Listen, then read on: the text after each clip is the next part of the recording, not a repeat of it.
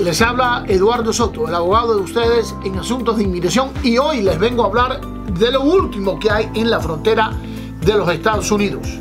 Hace poco el presidente Trump ordenó, como él le encanta ordenar, una ley nueva que prohibiera a las personas que llegan a la frontera de pedir asilo político si no habían pedido asilo político en otro país en el camino hacia los Estados Unidos y que no hayan sido denegados. O sea, de que si usted no aplicó el asilo en un país antes de llegar a México, si usted atravesó a través de Guatemala, por ejemplo, y usted no tiene un fallo en su contra, usted no puede pedir asilo político en la frontera al anunciar esta medida nueva, inmediatamente hubo demandas en contra del presidente. Una de las demandas se presentó en el estado de California y un juez federal falló a favor de los demandantes prohibiendo que el presidente implementara su ley.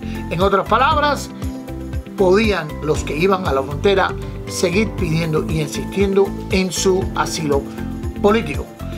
Hace unos días, lamentablemente, una corte de apelación, corte que escuchó apelación de parte del presidente, limitó, aunque falló también al favor de los demandantes, limitó el impacto, la cobertura de la prohibición en contra de las personas, o sea, en, en contra del presidente. Y lo limitó a que solamente los que piden asilo político en la frontera con Arizona o con California son los que van a ser permitidos pedir asilo político. Los que llegan a los estados de Texas y a Nuevo México no van a ser permitidos pedir el asilo político. Esto es algo que se aplica retroactivamente a la fecha del fallo. No se sabe en este momento, habrá que ver. ¿Va a haber problemas y confusión? Claro que sí, porque la gente se van a ir a la frontera donde se encuentra con los estados de Arizona y California.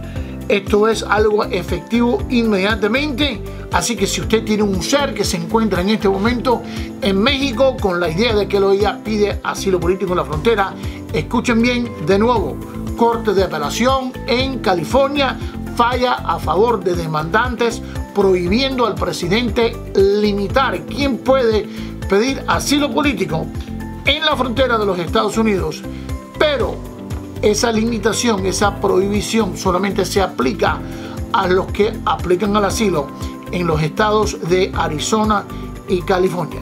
Para saber más de esto, nos llaman al 305 446 8686 305 446-8686 o por las redes sociales. Muchísimas gracias.